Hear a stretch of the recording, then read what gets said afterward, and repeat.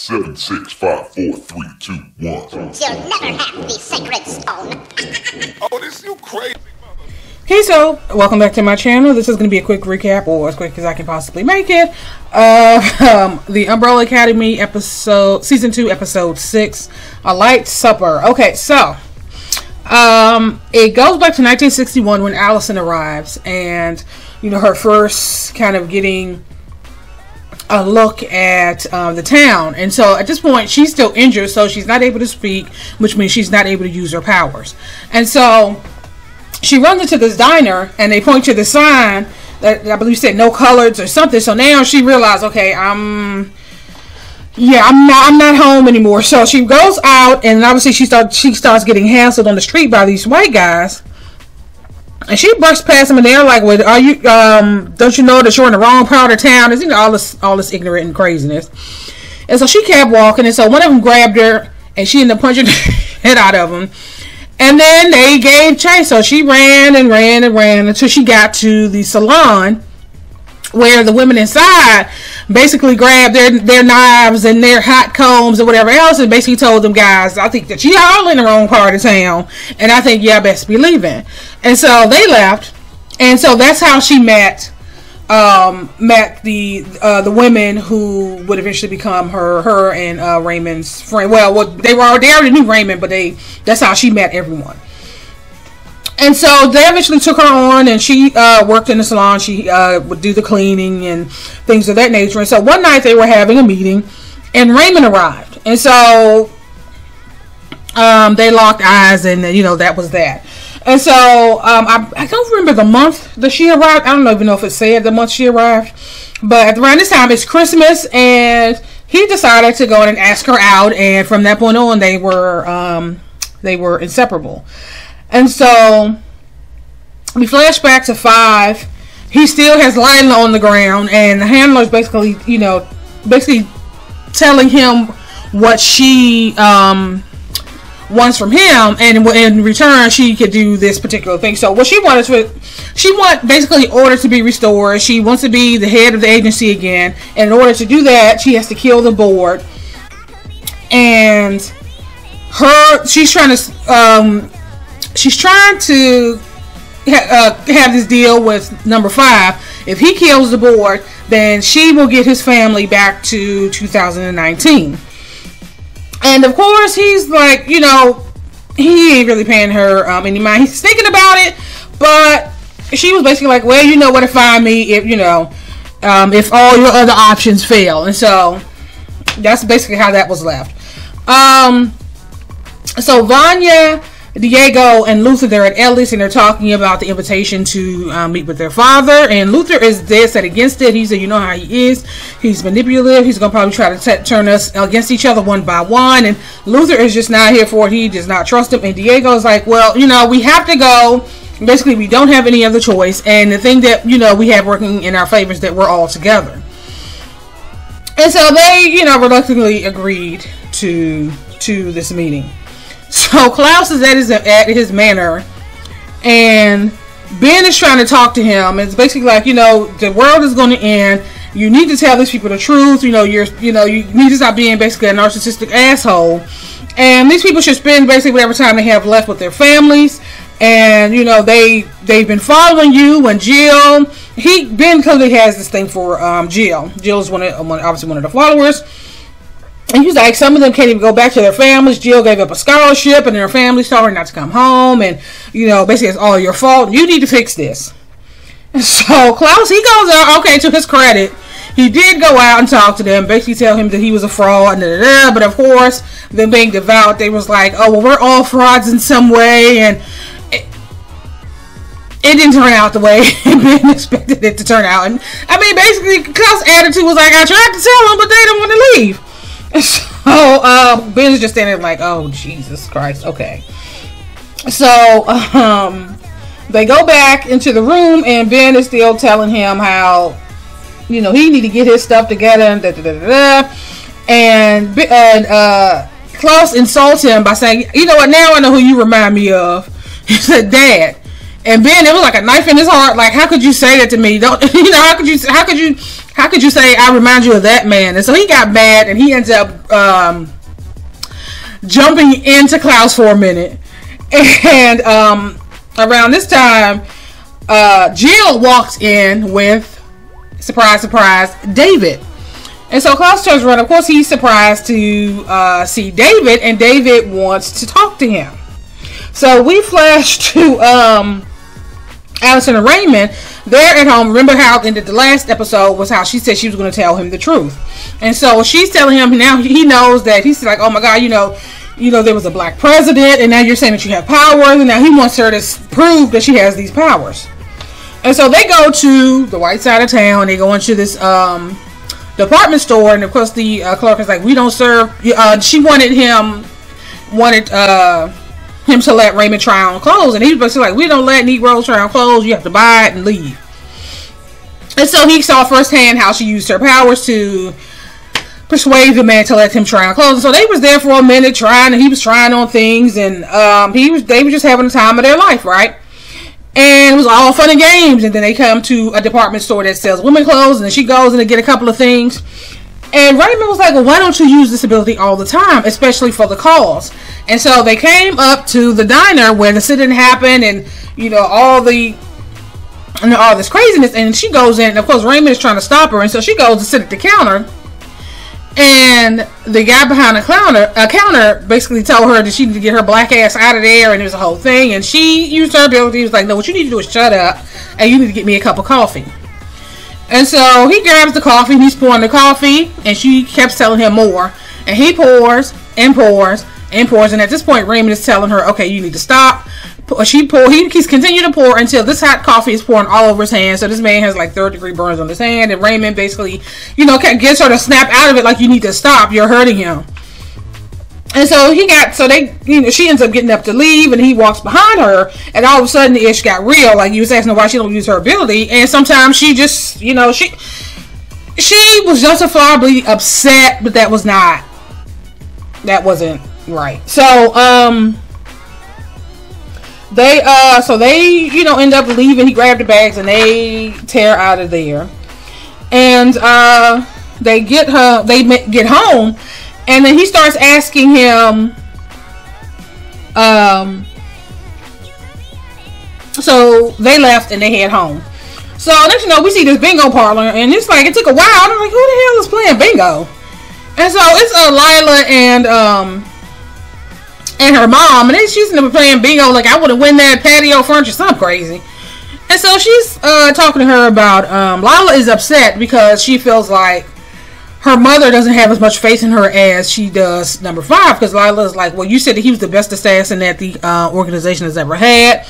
And she was like, uh, this is the hand. Her mom was like, well, I was just, you know, just puffing up his ego, and I have other plans for you, and um, you know, I, you know, I don't we need to have a scapegoat. So she's trying to convince her that number five is supposed to be their scapegoat. Okay, so then Lila asks about Diego, like, well, so what about Diego? And so her mom was kind of giving her a hard time, like, oh, so do you have feelings for him? And she started clowning her, like, how could you fall for your mark? And da da da da. And she, and of course, uh, Lila tried to play it off, but you could tell in her face that you know she does kind of have, I don't know, as much as sociopath can have feelings for somebody. I guess. I, um. Uh, so Klaus and um, so Klaus and David they're now walking the grounds and they're talking, and David apologized for punching him in the face and. You know, Klaus. He started asking Klaus all these questions, like, "How do you know all this stuff about me?" And you know, it doesn't make any sense. And um, he, you know, basically, you know, told him he started going. He, he, was like, "I don't believe you," and so he started telling him more stuff about him. And he was like, "Well, how could you possibly know that?" He said, "Well, I am a prophet," and so of course David was like, "I don't believe in that, that kind of stuff." And so he went on and told him, like in 1968, basically, you go to war and you never come home. And um, he gave him what uh, the, what Klaus had around his neck were dog tags, and it was I guess David's dog tags. And so David looked at him, and he was like, "Well, I don't really know what you want me to do. You know, I, my family have all these expectations of me, and you know, uh, uh, Klaus is like, I, you know, I really don't want you to go. You know, you don't really need to do this. You don't need to lie about who you are anymore. And then that's when he revealed that he already enlisted and that he leaves in a few, in a few weeks. And so, of course, Klaus is devastated. And you know, they have some words, and David storms off. Around this time, one of uh, Klaus' followers show up with the, um, the invitation to meet with his dad. Um, so Allison and Raymond they make it home, and Allison asked her, you know, asked her, I guess what he wanted to ask her, like, did you ever use your ability on me? And she, you know, said no, which I, you could believe because up until she that night when he was being attacked by the police, I, I, she probably wasn't. She you could tell she wasn't even confident in her ability. Conf- she was no longer as confident as she was in her ability, but when somebody she cared about was being hurt, that's when she was able to. It came out. So I can you can imagine, you can believe that she never used her ability. Um, and so they look over and they see this envelope on the floor, and that's how she got her invitation. Um, so the assassins they're in this sauna, and the handler is there, and she's basically telling them how she they, she could serve up Diego on a plate, and Diego is the person that killed their brother. She can tell them exactly where he's going to be, and only thing she asks is that they don't hurt number five. So she didn't get came up made a deal with with uh, the assassins. Okay, so um. So number five arrives at the build at this building, and he's on the elevator. And before the door closes, that's when everybody else piles on. So Luther, Diego, Vanya, Allison, uh, Klaus, and Ben. So they're all on the ele- elevator, and they get to the top, and there's this restaurant, this tiki something restaurant. And so they're all going around talking about who's going to be the one to talk to their dad and tell him what's going on. Da, da, da, and then he arrives. He just walks in like any other thing and sits down. And he's basically like, okay, who are you guys? You know, my uh, my people say you don't work for MI5, the CIA. You don't work. So who, who are you people? And more than one of you has called me dad. So who who in the hell are you people, right? and so number five, basically, he started explaining um, who they were and how they know him. And he talked about their abilities. And of course, he wanted proof. And so one by one, they basically showed they showed um, their abilities. And so he basically told them that uh, no, um, Diego ends up showing him this photo of him on the grassy knoll and saying that, well, "Can you explain this photo? Why are you here? This is the, the, the exact spot where um, I guess the shooter was when Kennedy was assassinated, you're going to assassinate Kennedy." Da, da, da.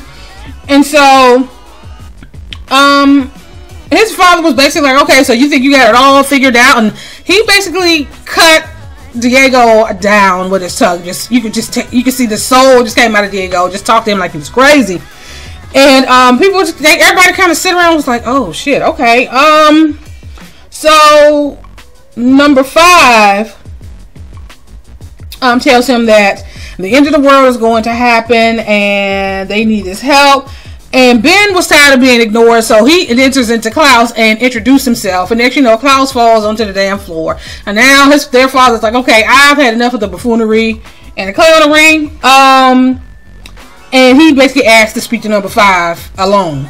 So um, they all, the rest of them got, you know, piled on the elevator and went and um, went out.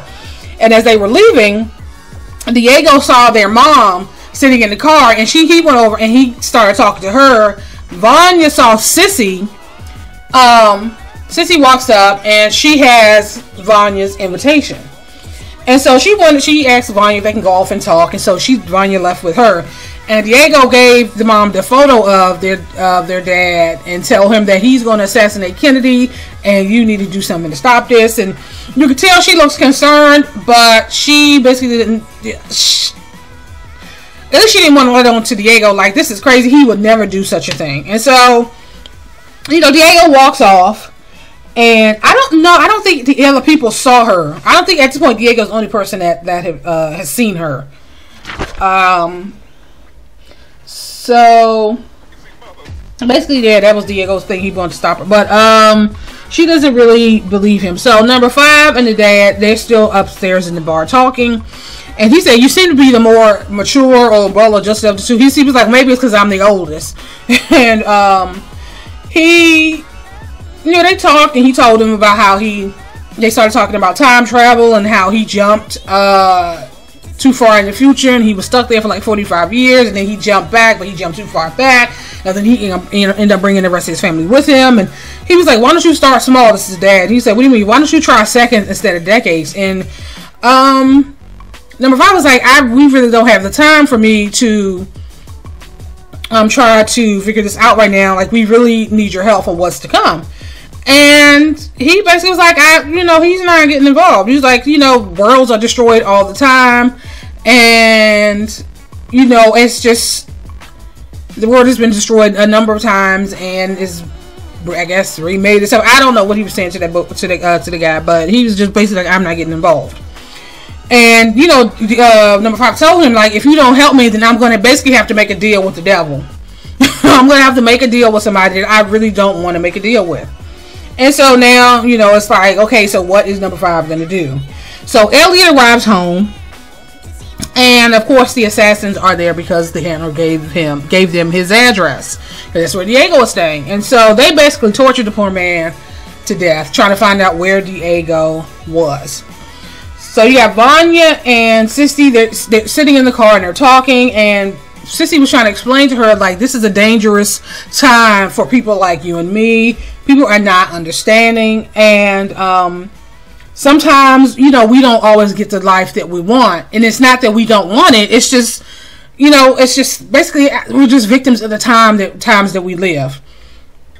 And Vanya, and Vanya basically told her that we could leave and I could protect you and you don't have to worry about, you know, this kind of stuff. We'll just, we will do what we need to do and I will take, I will take care of you. And so she was, she bought into it like, yeah, okay. So she's all agreed and ready to go on off with Vanya. And then you see Carl follow them. So Carl is standing off to the side watching them have sex in Sissy's car. So we already know there's gonna be some blowback from blowback from that. So um Luther and Diego uh, grabs home, aka Elliot's house, and they see blood, and they basically tortured Elliot to, and just it was vicious. But Elliot is now dead, and they left some uh, message um, for Diego and they wrote it in Elliot's blood. And so that's basically how this episode ends. I was like, oh, poor Elliot. He was just such an innocent, nice guy, good guy, who was trying to help them out. And it was like that. Mm, they they really tortured him. So that's how this episode ended.